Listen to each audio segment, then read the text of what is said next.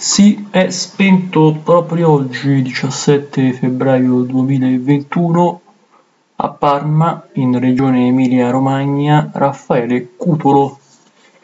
Chi era costui? Era un personaggio ovviamente italiano, appartenente al mondo della criminalità, secondo la mia opinione. Infatti, pensate chi fu capo della nuova camorra organizzata.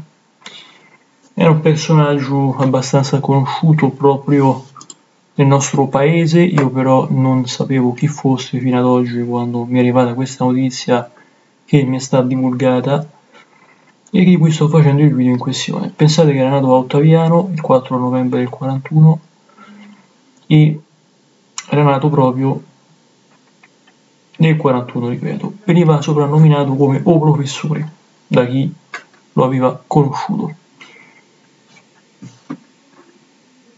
Perché veniva chiamato professore in quanto, aveva, in quanto non era analfabeta. Va bene?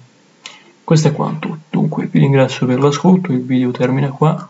Questo video non vuole, non intende rendere la privacy di Raffaele Cutolo, ma solo informare eventuali persone di ciò che sarebbe accaduto di recente e si sarebbe spento in carcere. Va bene? Grazie a tutti da Leandro, narratore italiano di Roma.